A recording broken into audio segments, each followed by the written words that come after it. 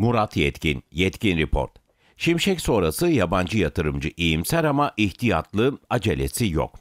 Hazine ve Maliye Bakanı Mehmet Şimşek 4 Ağustos günü İstanbul'da Batı dünyasının bazı önemli yatırımcılarıyla bir araya geldi. Toplantıyı düzenleyen dünyanın önemli yatırım bankalarından JP Morgan Chase oldu. Reuters haber ajansına göre 40'tan fazla uluslararası yatırımcı şirket katıldı. Toplantıya Şimşek'in yanı sıra Merkez Bankası Başkanı Hafize Gaye Erkan'ın da katılacağı ve bir sunum yapacağı önceden duyurulmuştu.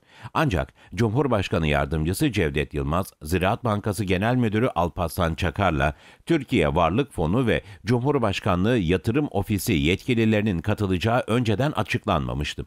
Bu ayrıntı önemli çünkü Çakar ve Yatırım Ofisi Başkanı Burak Dağlıoğlu da zaten Cumhurbaşkanı Tayyip Erdoğan başkanlığındaki Türkiye Varlık Fonu Yönetim Kurulu'nda.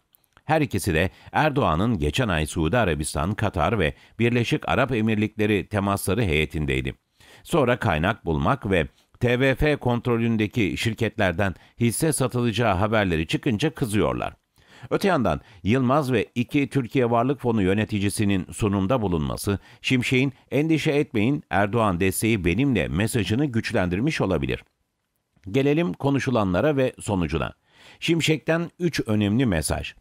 Yabancı yatırımcı, kuruluş temsilcileri Merkez Bankası Başkanı'nın sunumunu 27 Temmuz'da yaptığı ve yıl sonu enflasyon tahmininin %22.8'den %58'e çıkardığı sunumun neredeyse aynısı bulmuşlar.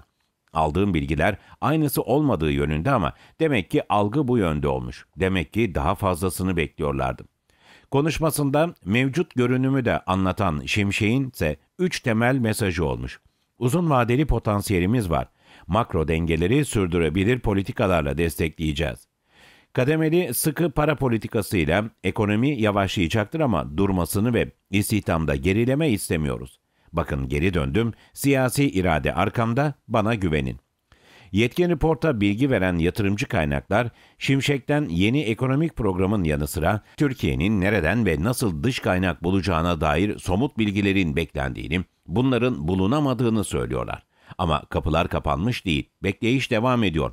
İçeriden edindiğim bilgiye göre Şimşek toplantıdan memnun ayrılmış. İhtiyatlı iyimserlik. İhtiyatlı iyimserlik aslında bir diplomasi deyimi. İyimser olmak için bazı yeni nedenler ortaya çıksa da mevcut ortamın hala riskli bulunmasını anlatıyor. Yıllardır Türkiye'deki yatırım ortamı ile ilgilenen bir dış yatırımcı kuruluş temsilcisinin adını saklı tutarak bu ifadeyi kullanması boşuna değil. Hani ülkenin kredi görünümünün durağan negatiften durağan pozitife çevrilmesi gibi. Neticede hala durağan.